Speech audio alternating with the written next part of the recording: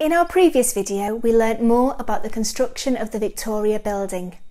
Once it had been completed, the College Council noted that the building had given the college more room for teaching and to allow lectures to start on time. The common rooms and reading rooms were excellent facilities, and the theatre, seating around 450 to 500 people, had been used for student entertainments, public lectures, and public meetings. The council did report that the administrative offices should have been larger, but concluded that the Victoria building was well adapted for its purpose, satisfactorily warmed and ventilated, and it sufficed for all central needs. In his own section of the report, Principal Rendall stated, the completion of the Victoria building had completely changed the working conditions of student life. But what did the students themselves think of their brand new building? We can find this out from several of the student magazines that were published in the early 1890s, as well as from staff and student accounts. In 1893, almost a year after the first opening, a humorous student article commented that the Jubilee Clock Tower wasn't straight and that the college could now boast of a leaning Tower of Liverpool.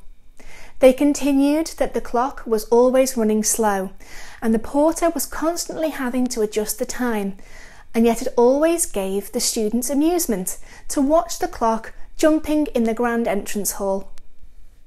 In an article from 1892 called Suggestions for a College Song, some of the building's features have been put into another humorous song by one of the students themselves.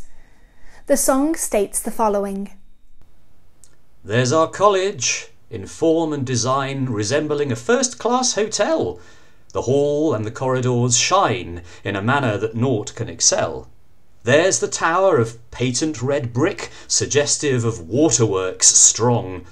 Its price in grey stone was too thick, but you need not put that in the song. It commemorates Jubilee Day. There's the clock electricity primes, with its most unaccountable way of jumping five minutes sometimes. The song seems to poke a little bit of fun at some of the building's features, including the jumping clock and the strong waterworks. We do know that there were numerous problems with the waterworks from letters sent by Professor Rendall to the architect Alfred Waterhouse right up until at least 1895 when he sent his own illustrations on the service of pipes to the ladies' toilets that had been filling up too slowly.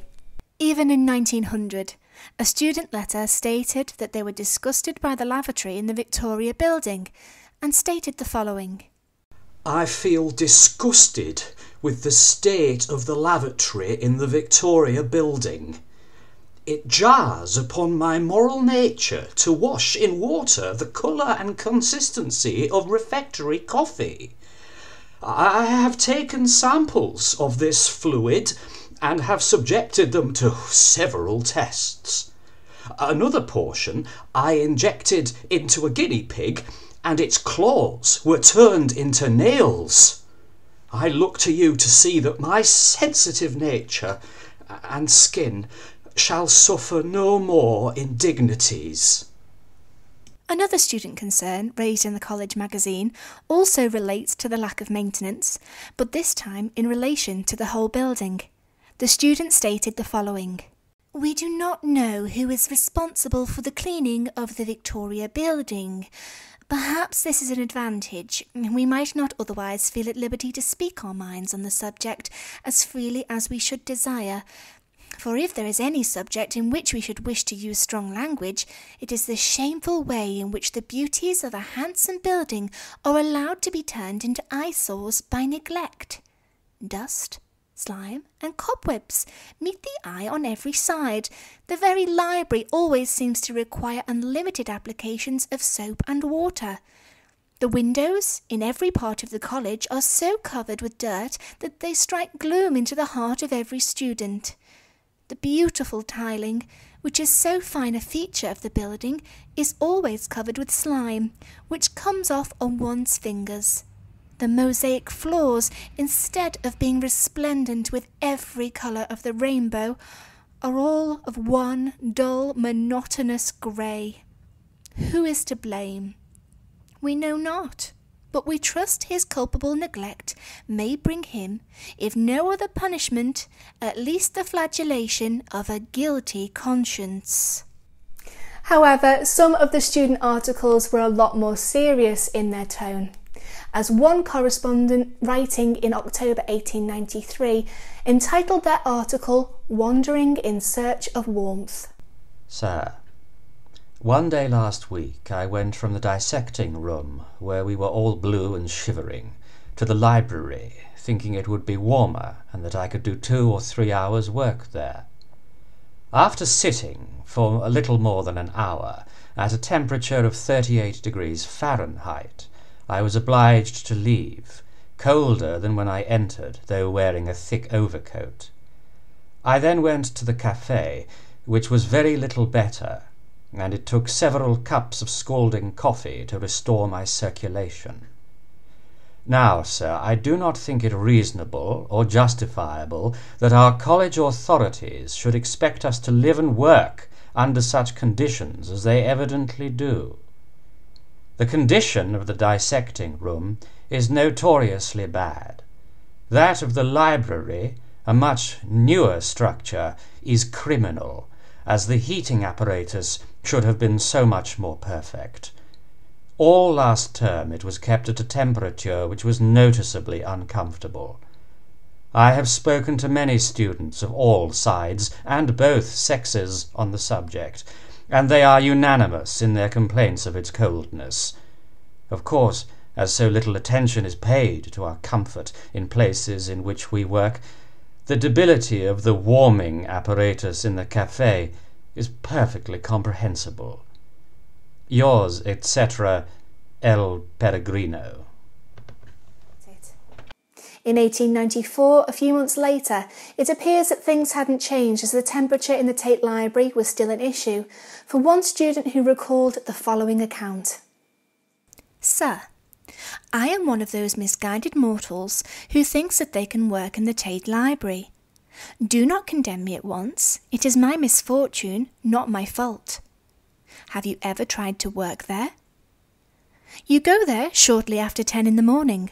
All is then peaceful and quiet, though the atmosphere is clammy and cold.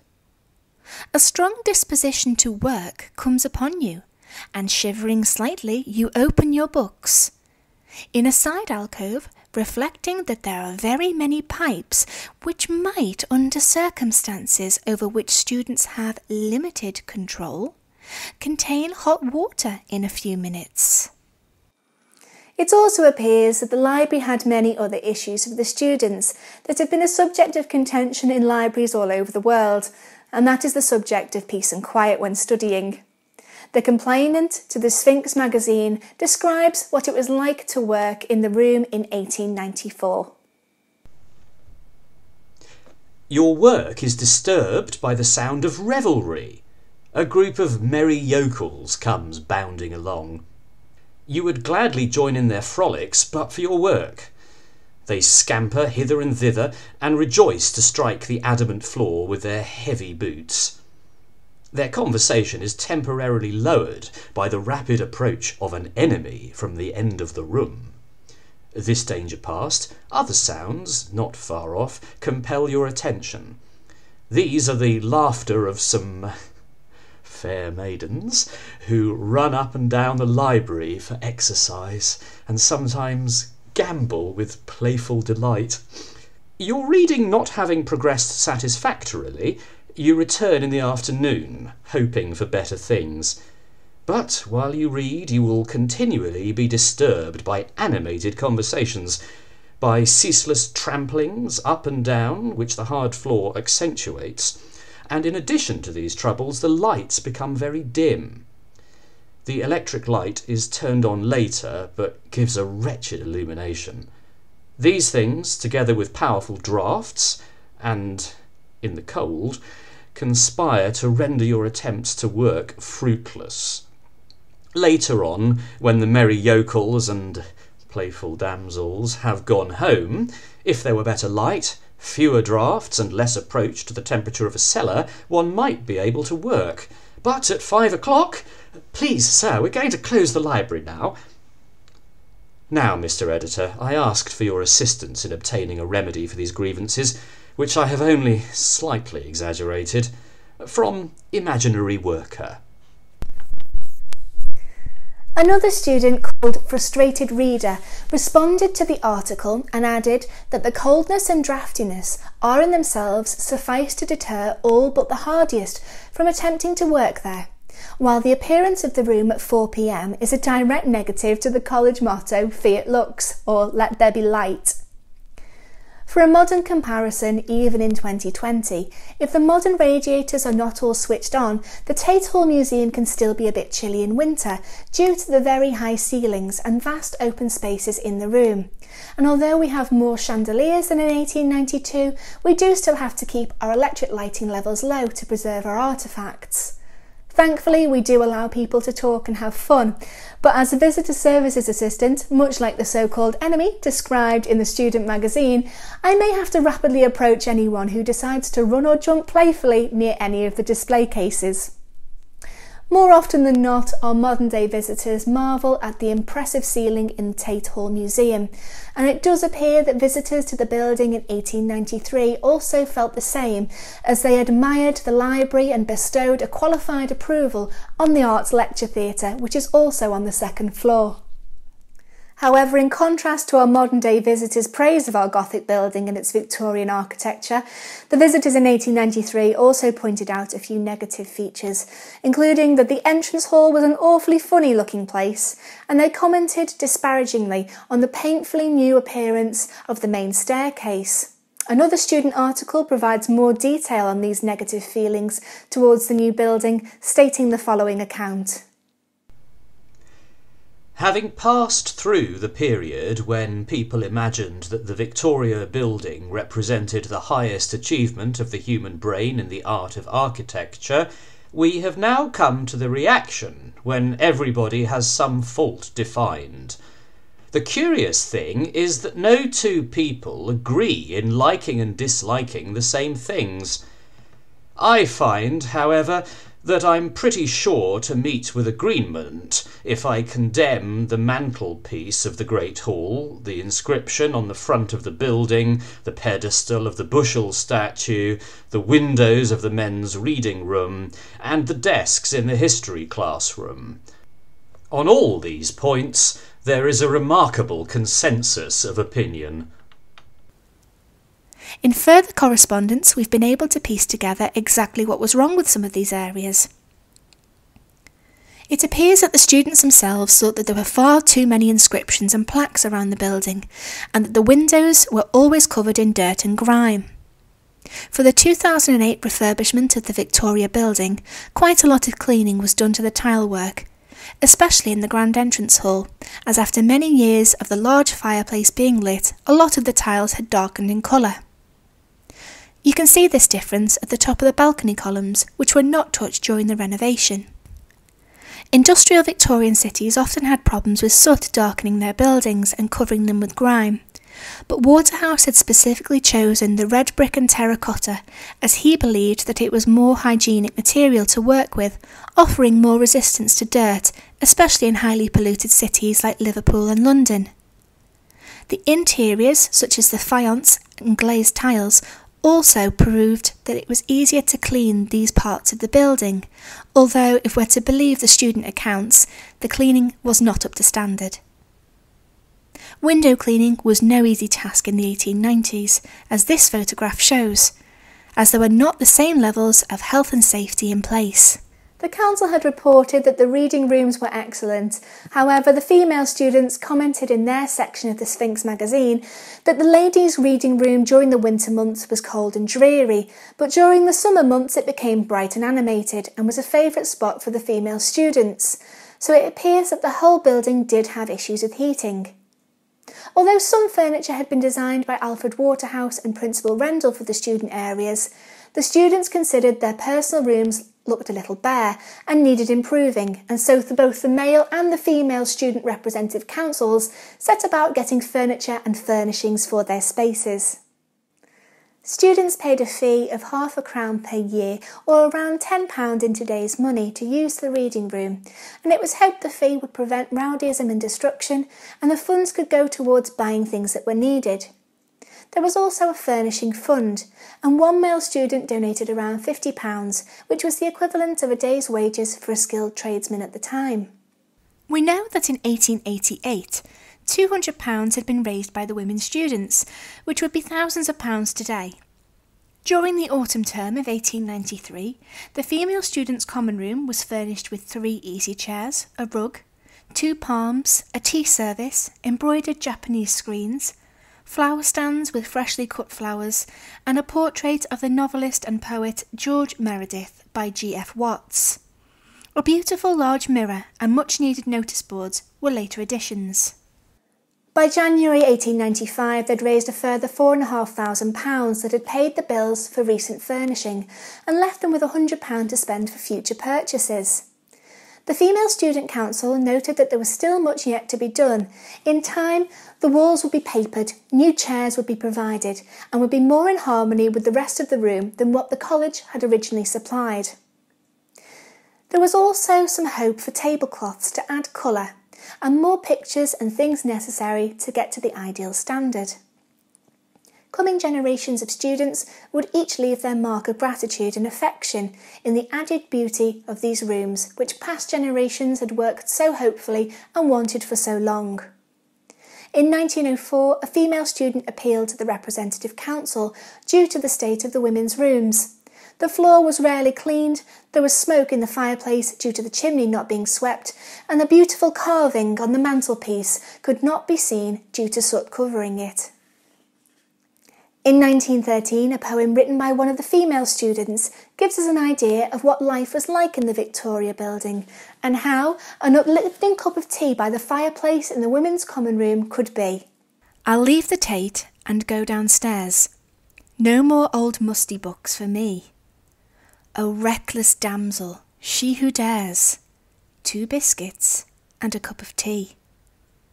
She treads the cold and stony floors, knowing that for a penny she can get within these sacred doors two biscuits and a cup of tea. She finds her friends around the fire with saucers balanced on their knee. She joins the group and soon has by her two biscuits and a cup of tea. A little gossip makes time fly. Oh, 'tis a merry group to see. Then all depart, made cheerful by two biscuits and a cup of tea. The male students also appealed to their members to send in pictures or further donations to liven up the walls of their personal space. However, one student noted that although the Student Council was aiming to soften and adorn the reading room, they wished that certain periodicals, like The Sketch and Pick Me Up, were gotten rid of, as they mocked the inscription on the college walls, hindered learning, and abused leisure time. They suggested that busts of Pliny the Elder, whose diligence knew no leisure, might be more appropriate for the reading room adornments in a college. Unfortunately, the male students were not quite as elaborate with their descriptions of the reading and common room, and we do not have a very clear picture of what they were able to achieve. In fact, the female students note in the college magazine that they'd been told to edit down their news as they took up far too much space. They could not fully detail all the furnishing work that had been done in their own rooms, but it is thanks to these accounts that we can picture how the building would have looked in the early days of the college.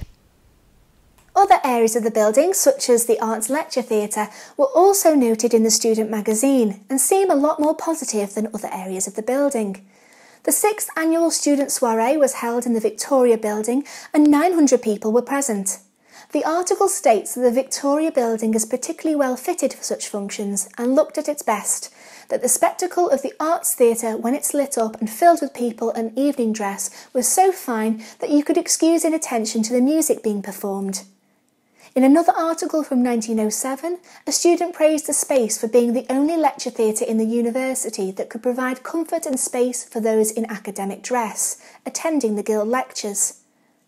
In stark contrast, however, it was also used for smoking concerts, and one student complained in the student magazine, stating the following account There is nothing more disagreeable than being compelled to swallow second-hand tobacco smoke.